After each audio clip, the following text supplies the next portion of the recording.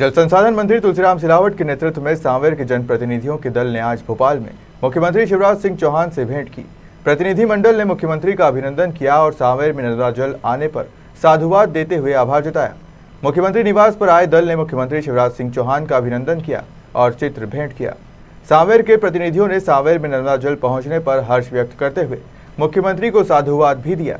इसके साथ ही प्रतिनिधि मंडल ने मुख्यमंत्री से अनुरोध किया कि युवाओं को रोज़गार, उन्मुखी प्रशिक्षण के लिए आईटीआई शुरू की जाए। इस पर मुख्यमंत्री ने घोषणा की है कि अगले वर्ष से सांवेर में आईटीआई शुरू किया जाएगा। इस अवसर पर जल संसाधन मंत्री श्री शिलावट ने कहा कि हमने प्रदेश में ऐसा मुख्यमंत्री पहली बार देखा है जो कहने भर से ही सारे काम कर देते हैं। बार बार आने की ज़रूरत नहीं होती है। उपस्थित सभी जनप्रतिनिधियों ने मुख्यमंत्री को इस घोषणा के लिए हृदय से धन्यवाद